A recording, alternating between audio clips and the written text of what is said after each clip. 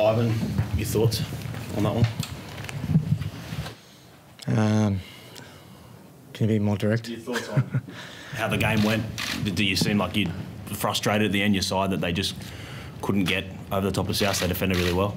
Yeah, yeah, they did. It was a yeah, obviously a tough, tight game. Um, where it could have gone either, either way. You know, I thought I was pretty happy to, to go into ten all at half time. I thought, um, yeah, they had probably more opportunities than we did in the first half uh, for varying re- various reasons. Um, yeah, in the second half, I thought we yeah had them. Fortunately, we gave up a try early in the second half. That was a that was disappointing. Um, then for the rest of the half, I thought we were just grinding away and kind of had them probably where we wanted. Uh, come up with yeah probably three or four opportunities where we yeah just did nice that you know we like to think that we probably should. So that's probably enough on a in a game like that. Was there a sense of panic? Do you think this side hasn't trailed in a lot of games this year?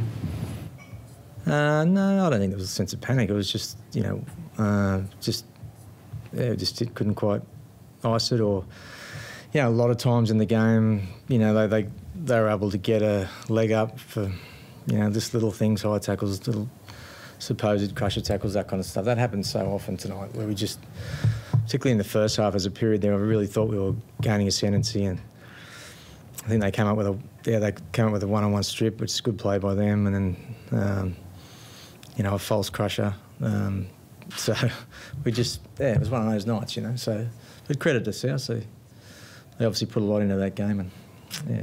You say false crusher, but reality is they could be costly suspensions wise. They've been pretty harsh on crushers. I think it's well, I think it was Isaiah, Liam Martin as well got done. They, they well, be, I was just talking about Liam's one. Like uh, you know, I don't, I don't know about the other ones, but that was yeah, that was not a crusher tackle, not even anywhere near it. So he didn't even put on a report, and I don't think. So. Ivan, you've got to go around the, the long way now. Historically, it's been impossible. Uh, yeah, they can they do it? Can they be Possible. Oh, not impossible. Very hard to do. You said it was impossible. Sorry, I didn't mean my, my mistake. Um, it's, are they up for it? Are they good enough side to get to get back up and get get this uh, get this premiership? Yeah, we'll see. Yeah, that's the challenge ahead of us. You know, we um, we had to win three games to. Yeah, once we hit the finals, with three games to win it, and nothing's changed. So, you know, I don't think we lose too many friends from tonight. So, um, as I said, I think it was really just come down to opportunities um, that we yeah did nice that we yeah probably you need to in those games. I mean that's just just fact. So yeah, if we tidy that up, I think uh, we'll give ourselves every chance to go well again next week. Were those opportunities because of stagnations in attack, or was it South's defence that were up for it tonight? Uh, oh, I'm sure they're up for it. Yeah, there's no doubt about that. Um, but yeah, we had yeah, we were, there was definitely things that we could control that we yeah could have done better. So, yeah. How's um, Nathan after that shot from Keaon Koloamatangi? He looked a bit ginger after it. Yeah, I'm not sure. I think he's okay. Yeah. there was a lot of talk about that during the week, Ivan, about Nathan being targeted and the, the blocks and stuff. Was is that what you're kind of referring to when, when you talk about Nathan getting hit at times, probably unfairly?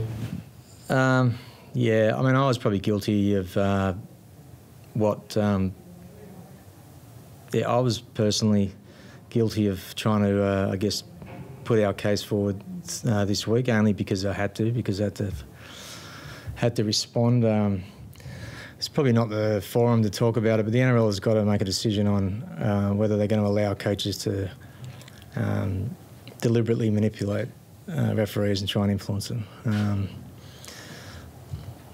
coaches do it because they can. You know, we get fined afterwards, uh, but pre-game, um, yeah, you can. It's pretty much open slather, I think. So, um, you know, we, our boys were certainly being spoken to on the run for uh, stuff that we never get done for. So, I'd suggest that, um, yeah, that type of thing has an influence as I said, I was guilty of it myself because I had to, because you know we had to respond. But um, I think the game could do itself a favour and come down on any any coach who wants to try and deliberately uh, influence a match official before a game.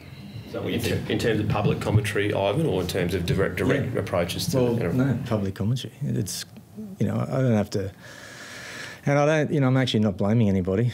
Um, maybe the game likes that stuff. You know I get it. It's you know you guys all froth over it, so it's it's good clickbait and all that kind of thing. But um, I think it's terribly unfair on referees um, that they, you know, that, that we're able to do that to them.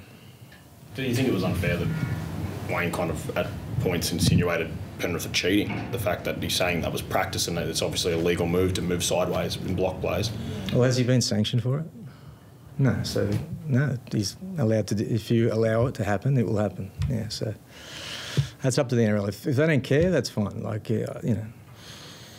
Yeah, like I said, I probably shouldn't have brought it up, but I believe in it. You know, I I think the referees department spend way too much time um, going through complaints from coaches every week.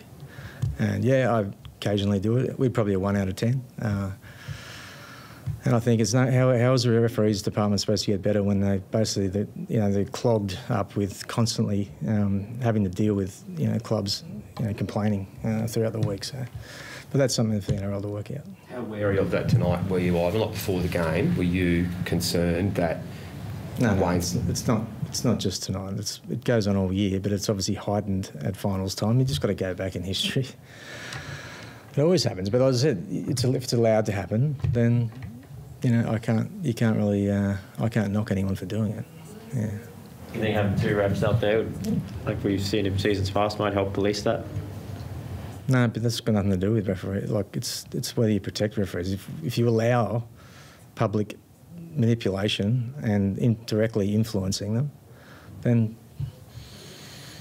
I would say that you're only human if you're a referee, and you know get phone calls to say you know you need to tidy this area up. Why is that? Because someone's complained about us. Yeah. Um, with your football this week, Ivan, what's the next step for you guys? I mean, it's a confident group. Lots of players have played very well in big games. You know, what what do you do this week to get the get them back um, back on track and, and and turn in a good performance? Yeah, just pretty much like any game. Um, yeah, you're right. You know, I've got full faith in the boys, and just talking to them in there, they, they know. They, they know we, we had them where we wanted. We just couldn't get it done. So, you know, you, you've got to be able to do that. So, um, but we'll back ourselves uh, in that position again, and we'll do better. So that's that's our challenge and our task this week. Thanks, guys. Thank you, guys.